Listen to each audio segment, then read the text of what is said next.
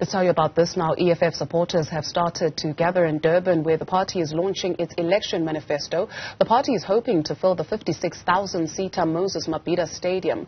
Party leader Julius Malema will be outlining the party's promises to South Africans ahead of this year's general elections. Newzroom Afrika's Ziyanda Ngcobo and Karinda Jagmohan are standing by to give us a sense of what it is that you are both seeing and hearing. Let's start with you, Ziyanda Ngcobo. There were some delays in people accessing the stadium.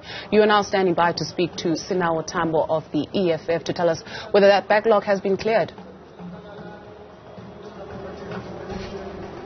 A very good morning to you, Dudu, from a very windy uh, Moses Mabhida Stadium. Indeed, as you can hear, uh, the energy in the stadium is picking up, and of course, this is because gates opened early this morning, and uh, the EFF leader is expected to speak uh, just after midday. Let's speak to Sinawo Thambo then about uh, preparations going into this manifesto launch. It's the first uh, happening at Moses Mabhida. You know that there are others that are coming here. What's going to make you guys so special, especially when it comes to the issues um, that the youth face, which is your core constituency?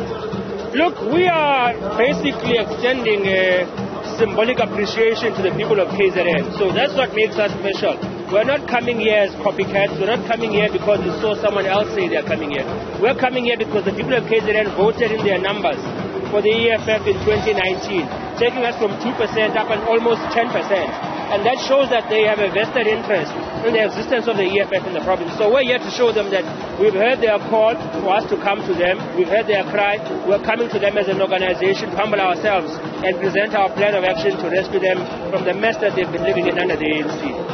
And uh, we know that uh, according to the latest Ipsos poll, you are on a, a trajectory of growth in this province of KwaZulu-Natal, but also overall uh, for the national vote, if this poll is anything to go by. How much are you internally as the EFF projecting to grow in a province like KwaZulu-Natal, given other dynamics such as um, a projection of the ANC dropping and the emergence of the Mkhonto Sizwe party? Is that now uh, threatening to take away from your potential vote? Absolutely not. So, firstly, we're not surprised by the Ipsos poll that has placed us as potentially the official opposition in South Africa. That is the natural road to power. So in order for us to govern South Africa, we have to get past certain obstacles. And that includes the racist opposition that is currently in South Africa today. So that poll is confirming that we're on the road to governance as we have predicted internally. We're not faced by the emergence of many political parties over the period in time that has occurred. Congress is not the only one. There's many other political parties that are taking a, an opportunity to contest the elections. We wish them well.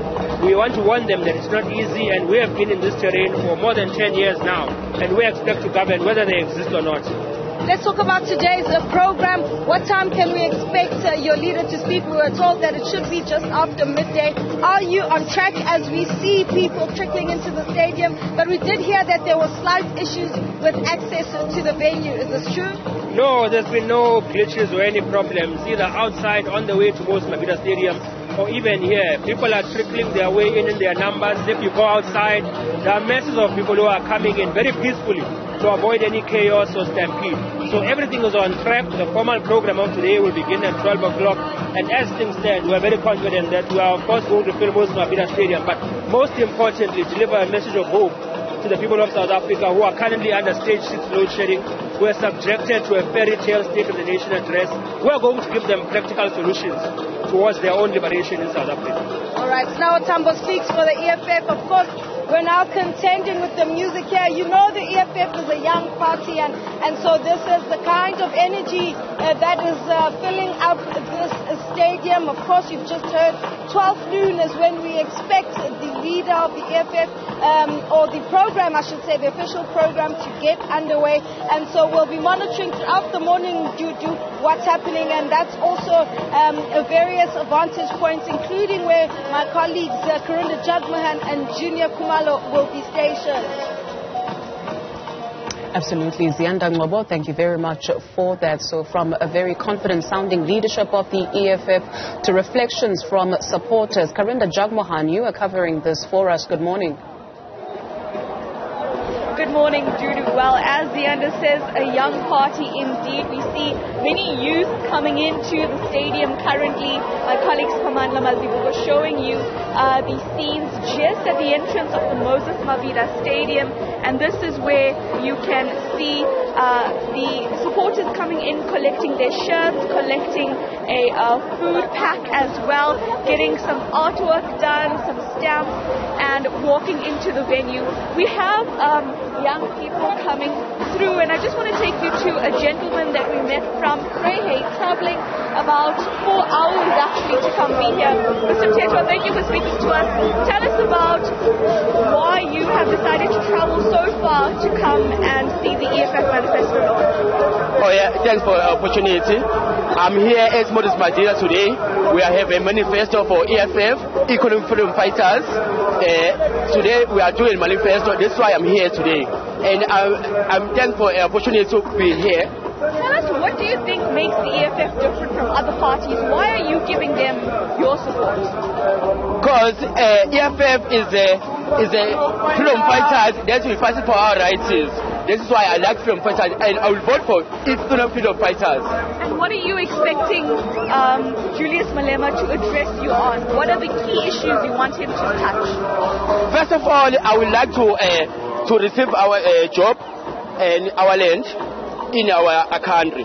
The, the, all of this. The most important things for you. Me too. Again, have a nice day. Thank you so much, Mr. Tetwa, for speaking to us all the way from Greyhay. And I want to actually show you some of what is placed on the seats here. Uh, if you just give us a moment to walk down the stairs. So as people are coming through, um, you see there are bottles of water, but also sanitary pads that are placed on each seat here um, for the ladies to collect, maybe for the males to collect take to women that they know. So that is just something that is provided to those who are coming into the stadium. And you can see people are slowly filling up. The EFF earlier this week said they expect the stadium to be full to capacity. So let's see what happens because as the end that Tilda says, this program is expected to start around midnight. We'll keep you updated. Uh, Okay, Karinda Jagmohan, you do seem to be contending with the sound there, but we could get what it is you were trying to tell us in terms of some of the care packs that, have been put there, more so for female attendees there at the event. The manifesto launch of the EFF in KwaZulu Natal, the program starting at midday according to the party. As soon as that gets underway, we'll take you there. We